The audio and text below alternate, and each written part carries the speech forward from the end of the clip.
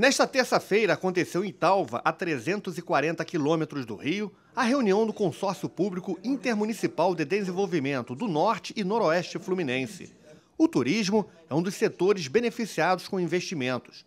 O consórcio foi criado há quatro anos para articular as cidades de forma integrada com políticas públicas regionais. Hoje, são 16 cidades que participam do consórcio, que já é considerado um marco de desenvolvimento no interior do estado.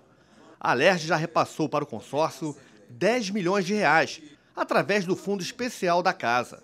A ideia é atrair um número ainda maior de municípios. Começa com três é, prefeituras, depois sete, depois 15, 16 e agora com 17. Como diz o poeta, um mais um é sempre mais que dois. Além do presidente da LERJ, deputado André Siciliano, e do vice-presidente, deputado Jair Bittencourt, estiveram presentes na reunião prefeitos, prefeitas, secretários e vereadores dos municípios da região.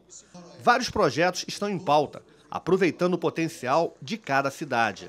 Um dos projetos tem o nome de Caminhos do Açúcar uma rota turística que corta várias cidades do norte e noroeste do estado.